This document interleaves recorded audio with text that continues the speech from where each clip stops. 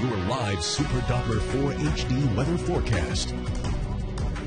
Good morning. We start the day with early patchy fog. There'll be some scattered showers and thunderstorms in the mountains this morning and across the upstate this afternoon. We've seen some action overnight across the south and more expected for today. Temperature still on the warm side for today before the cooler temperatures start coming in tonight and for the next few days. So patchy fog early. There'll be scattered showers and thunderstorms across our region this morning and through today and then high temperatures reaching 81 to 90. Here's a quick look ahead with a four day plus four forecast. Cooler tomorrow, mid 70s to low 80s for highs, then 70s for highs Thursday into the weekend.